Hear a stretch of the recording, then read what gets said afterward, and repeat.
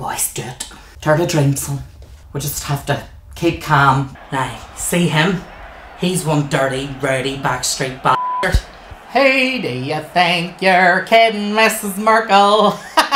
Get them back for the Blitz, boys. It's our finest star and all that shit. Ah, see, now here's another one. Mario what? Gotcha.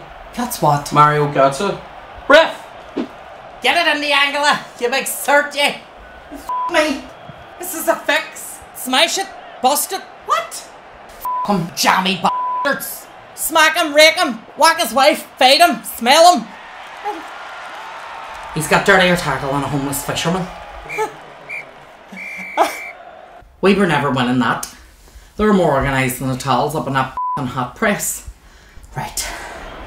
We need a result. I've lit a candle, I've said a prayer, and I give a favour to your mum with a wee wonky eye. Yes! Yes!